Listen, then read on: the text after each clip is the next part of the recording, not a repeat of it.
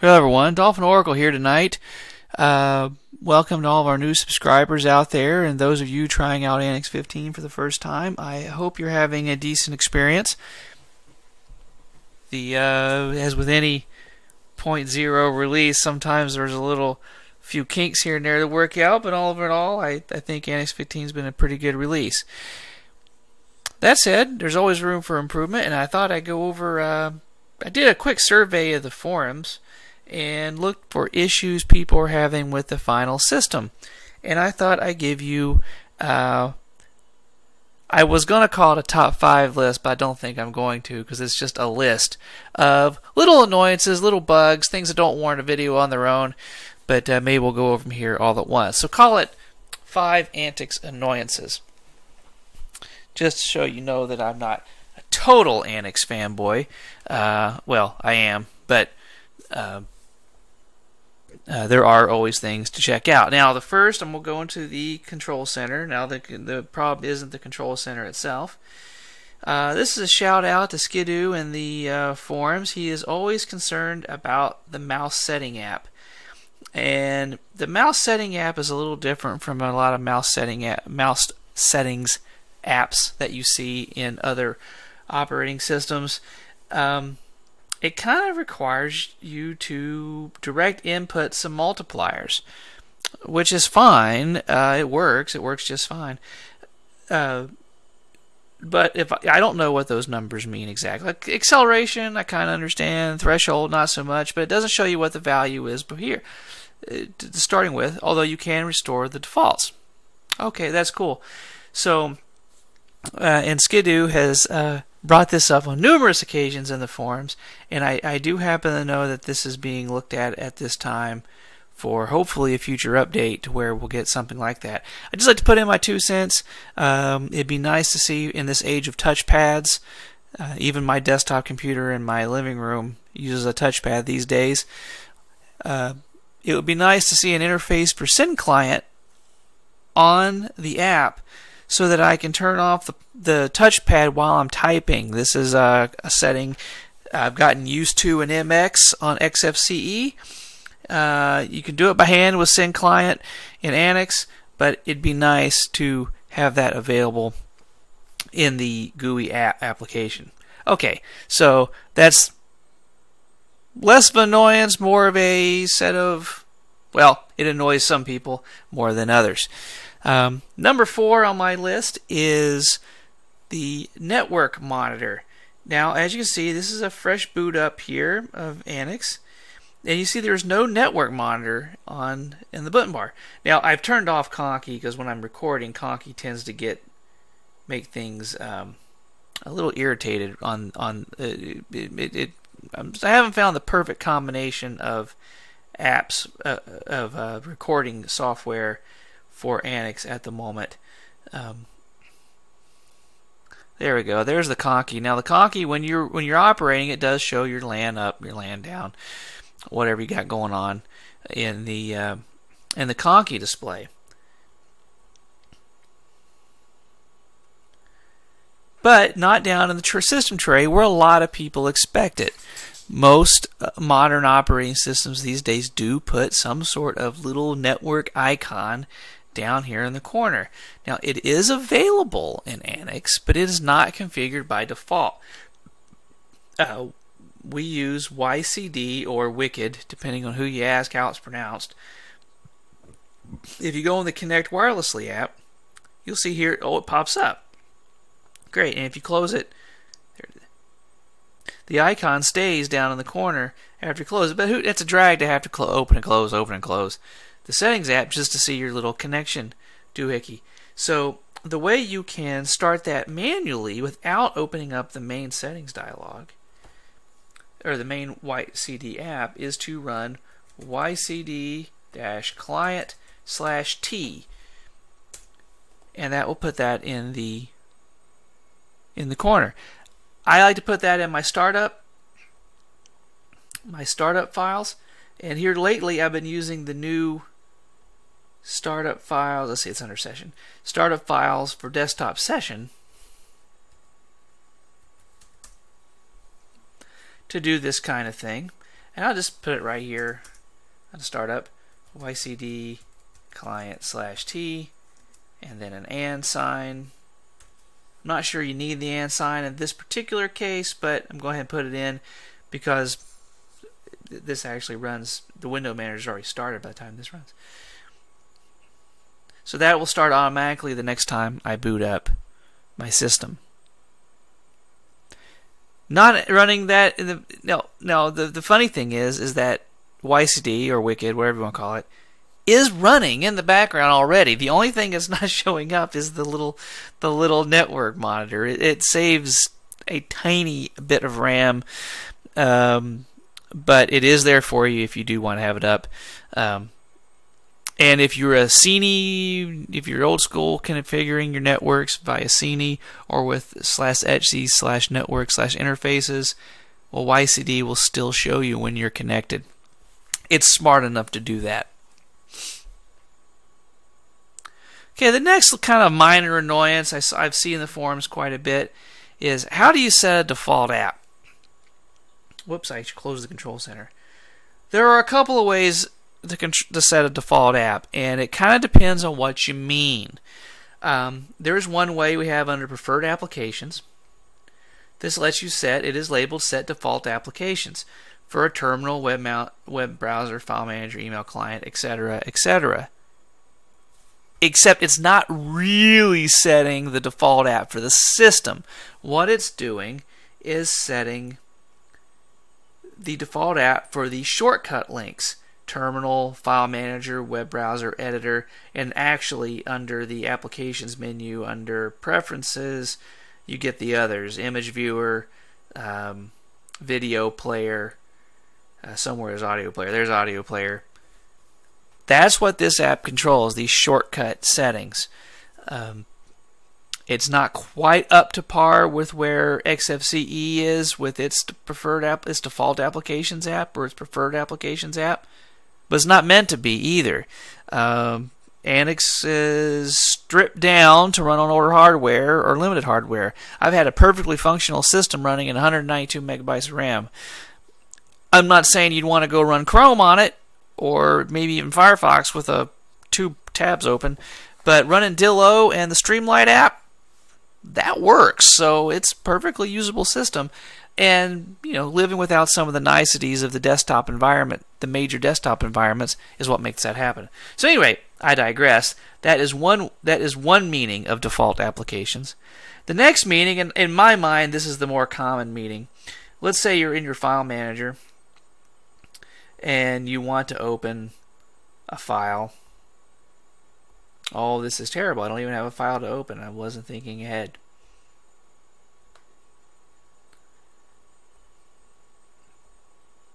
I'm going to open the editor. And this is a file. And I'm going to save it. Now you see that our editor is Geany. Test file. Save it in my home folder so I can find it. Okay, so now we have a file in our home folder, test file. Now, if I click on this, it should open in Geany. Except it doesn't. It opens in LeafPad. That's because there are multiple ways each of the file managers, ROX and Space FM, use a slightly different system to determine what app that they're what app they're going to launch a file with. Now I've gotten quite used to opening files directly from the file manager and rather than opening an app first and then opening the file. It just seems faster to do it in one step. You can see the Space FM continues to do this with LeafPad as well. In Space, you can, if you want to use a different app, you can go to Edit, and the list is here. This is very similar to how uh, Windows XP did it with its Open With menu. You can choose a different app, and if you want, you can actually uh, come down here to the Choose button, and you can pick a different app. I want Geany, and I can set it as the default, and click OK. Now it opens in Geany. And now every time I come back, it will open in Geany. And in fact, all text files will open in Geany that way. If I go to ROX, it's still going to open in LeafPad. There you go. Still opens in LeafPad. That's because ROX uses a slightly different system. It does look at MIME types, but it doesn't use the MIME type database that, that everything else on the planet uses to figure out what uh, app to use to start a file. It, ROX honestly was written in an age when everybody was still trying to figure this stuff out, and there was a ROX desktop once upon a time in development that um, you know it made sense if you were living in an entirely ROX environment. So it, this is actually only weird because Antix has more than one file manager by default and, and supports three different window managers. Um, so you know you, you live like we get so you, in ROX you right click on the file that you want to start and so set run action and it'll show you what the action is and I'm just going to change it to Geany. You can also drag it from a ROX menu a ROX window to this area here uh, a file from user slash user slash bin for instance and that will set it as well. So I'm going to say use the command and now we'll open in LeafPad or Geany rather. Now we've got number two and number one was a toss up for me uh, as which of these was the bigger irritation. Um, both of them I've learned to live with over the years. Most of us in the Antix world have lived to live with it over the years. But I went with number two being the forum bug. What is the forum bug, you say? Well, let's say I want to reply here to a thing, and I'm going to say I want to reply with some. I'm just going to say something with slash etc slash network in it, and I'm going to hit submit. And it's going to say, oh, forbidden, you don't have permission to post on the server. Well, that's ridiculous. What it is, is anything with with a slash and etc close together, right here, this right here, is the problem. The forum software detects that as a problem. We don't control the forum software. The antiX folks don't control the forum software. So we've just been kind of living with it for years now. And the quick solution is to just put a space between the slash and the etc. This is kind of the convention that's come along on the on the system. So if you click that, it will go through. So there you go. I posted it. View my submitted message. And there it is. Now I'm going to go ahead and delete it real quick because I don't need people. I don't want to confuse people with that post. Okay. That's the forum bug. Just put a slash between the, just put a space between the slash and the etc. That catches a lot of new users, almost as many as as confusing the shout box at the top of the screen with a search bar. Happens a lot. Happens all the time. Now, I've got one other big um, annoyance with Antix.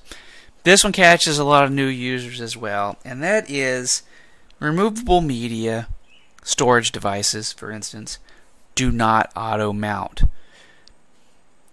The concept of mounting a device is sometimes foreign to people from the Windows world or even from operating systems like oh Ubuntu uh, and the like, where the desktop environment file daemon, file manager daemons take care of auto mounting. Even MX will auto mount a a device. And when you insert it, it pops up. There's a volume manager. It's it's what a lot of people come to expect. Well, that's one of the th- you know all that that that daemon sitting there takes up resources. It's its Antix's, um, shall we say, mission is to operate on older hardware. You know that's just one of the things that's been limited over the years. The good news is, is that you can mount your media. I have a USB stick uh, inserted in my drive right now, and I'm going to go to slash media, and you can see that it's not there. Now, this is using the ROX file manager. This is primarily a problem with ROX. ROX actually needs some help from UDEV and a few other things before these devices are seen. It's either got to be visible in the FS tab, FS tab file, or it's got to be somehow made visible to ROX. It, the device is installed, is is mounted. So I'm gonna go to Space FM and show you that it is there. And in fact, Space, as soon as I open it, will mount the device. And here it is. It's SD1. You can see the mount points come up. And actually, if you watch over here, you can watch the drives become available. And there they are. And they are available in either of the file managers. Okay, well that's cool. Uh, so that's easy enough. Just use Space FM for your file mounting needs. Now, there's there's other ways to do it. There's a mounting tool in the control center. Um, uh, you can do it from the command line if you want to. There's there's a whole host of Linux ways to do this, but the easiest graphical way for new users is just to open up Space FM and mount it. Except for one problem. Watch carefully. I'm gonna close Space FM. Ah, you see my mount points disappeared. Ah! For whatever reason, Space FM is configured by default, and it's it's not an Antix default. It's a default from upstream. It's configured to unmount your devices as soon as you disconnect. There they come back. As soon as you disconnect, as soon as you close Space FM. I don't know what, how I don't understand this default. But if you go into the devices menu of Space FM, go down to settings, uh, let's see here, auto mount, I believe, and uncheck unmount on exit. Because you know, you might want to mount the device with Space FM and then open up an app. Like, I don't know, maybe it's a maybe you've got a, a, a word processor document you want to open in LibreOffice or some music files that are on a USB stick. I do that a lot, or a movie that you want to open with VLC. Well, I don't have GNOME M player, I guess on here. VLCs for MX. You open it up, you mount it, you think you're good, you close the file manager, you open up your media player, and it's not there because it goes away. So now I've got I've got that setting changed. Now they will hang around. Now it's here. Now you have to manually do the uh, unmounting. And actually, we give you a little unmounter tool down here in the corner. It's kind of cool. Okay, so that is one way to do it. Now there, there, there's, there's, there's other ways if you want a file window to always open when you insert your media. I will ask you to check out my videos on Space FM tricks. Um, that will automatically happen if you use the Space FM desktop. Let me show you.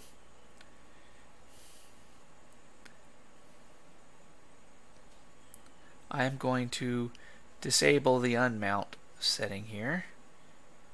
Uh, well, re-enable it actually, that ridiculous setting. Now I'm gonna close. They're gonna, they're gone. They're, trust me, they're, they're, they're not mounted anymore. They're gonna be empty.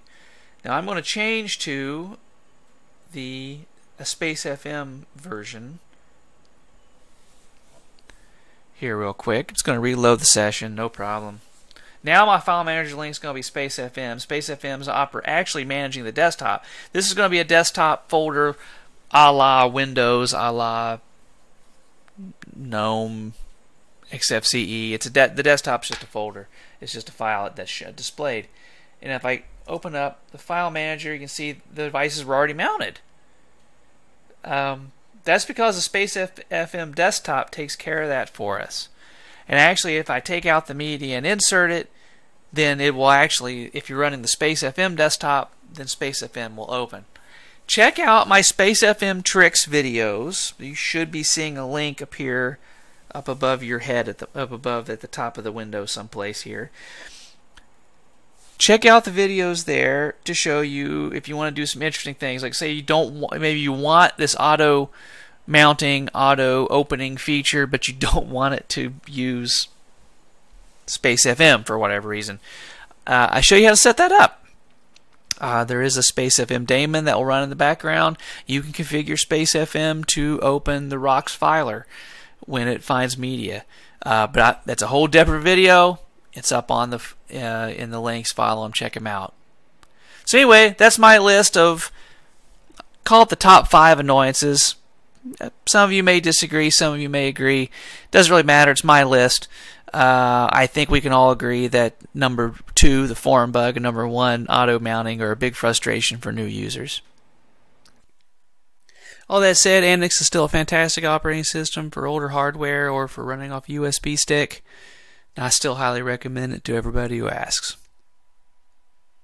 For tips, tricks, how-tos, head over to antix.mepis.org or throw up a post at antix.freeforums.org. This is Dolphin Oracle signing off. Have a great night.